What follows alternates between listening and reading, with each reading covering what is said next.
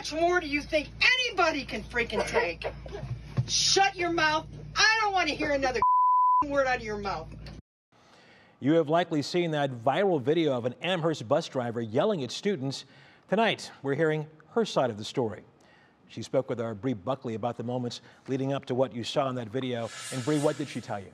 Well, Russ, first off, she says the last couple days have been tough and upsetting. She's been a bus driver for 15 years in different parts of the country, about two years here at Amherst. She tells me she misses the kids she drove every day, calling the majority of them smart and wonderful. As for the support, well, that's been a shock for her.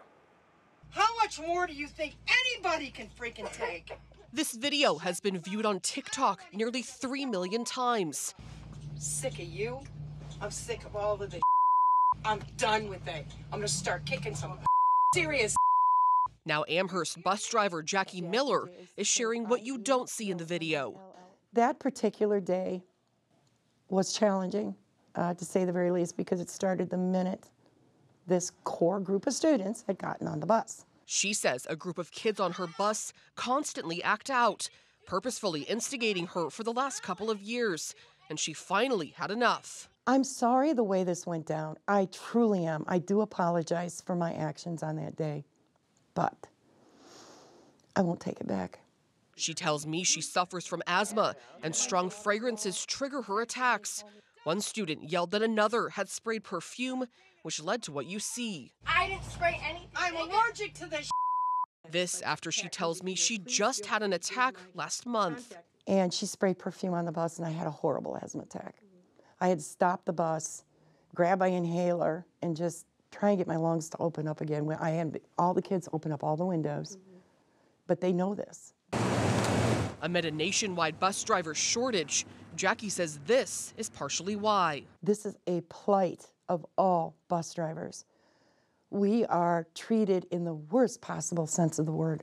My foot's gonna be so far up your gonna dangle out your nose. That saying now on a t shirt sold by Mistakes on the Lake Apparel Company in Vermilion. We all kind of just felt for her in that moment. Like, we've all had bad days. We've all gone through hardships. And we just kind of, I think our hearts just kind of bled for her. Shop owner Jackie Adkins donating $5 of each t shirt sale to the bus driver since she's now without a job after resigning.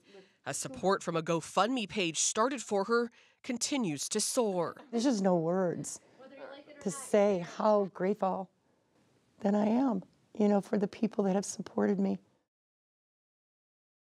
I spoke to the Amherst superintendent tonight. He tells me multiple students have been disciplined following this incident, though he couldn't give specifics on how many, what they're being disciplined for, or how. As for Jackie, she hopes to be a bus driver again soon. She tells me she drove disabled adults for years in Cleveland, and Russ, she hopes to get back to something like that. Uh, certainly. Okay, Bri Buckley, thank you. Of course.